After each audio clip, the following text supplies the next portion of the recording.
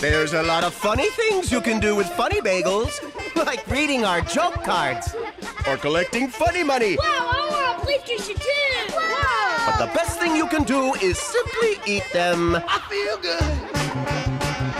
I do that, I would. Try extra cheesy pizza bagels and three other awesome varieties. Tell your mom to buy Funny Bagels for your lunch today. Funny Bagels at your mom's favorite supermarket. So get your Funny Bagels if you know what's good for you.